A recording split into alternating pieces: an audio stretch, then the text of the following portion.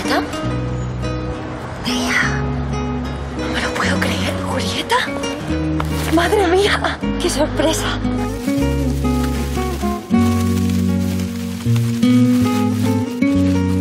Antía ha elegido su propio camino y usted no forma parte de él. Te vas, te voy a dar mi vida. No veo a Antía ni sé nada de ella desde hace 12 años. Le film du jour, c'est Giulietta de Pedro Almodovar. C'est son 20e film et son cinquième film en compétition à Cannes. Une histoire de non-dit, de secret, une histoire sur une relation mère-fille.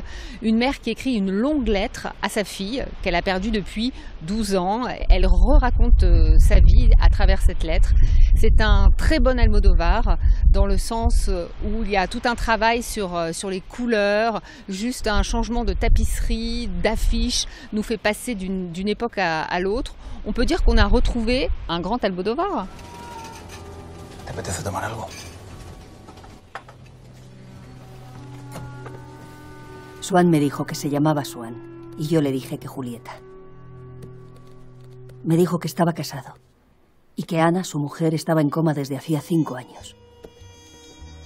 Yo le dije que daba clases de filología clásica y que estaba sustituyendo a una profesora enferma. Swan me dijo que era pescador, que tenía tres gamelas.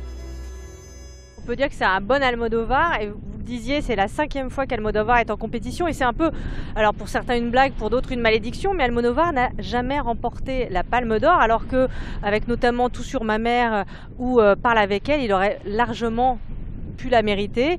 Julieta est dans cette veine-là, mais sur un mode euh, très dépouillé, euh, presque retenu, même s'il y a tout ce jeu sur les couleurs, un rouge très profond, le bleu, le jaune. Almodovar filme un drame familial, euh, une mère donc qui va tenter de retrouver sa fille, et c'est franchement bouleversant.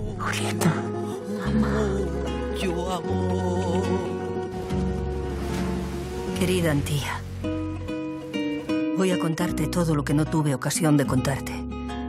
Porque eras una niña. Porque me resultaba demasiado doloroso. O por simple pudor.